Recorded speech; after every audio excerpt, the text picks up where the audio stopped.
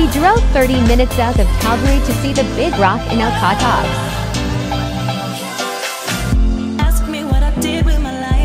30,000 years ago, a glacier transported this quartzite rock from Jasper and deposited it all the way here.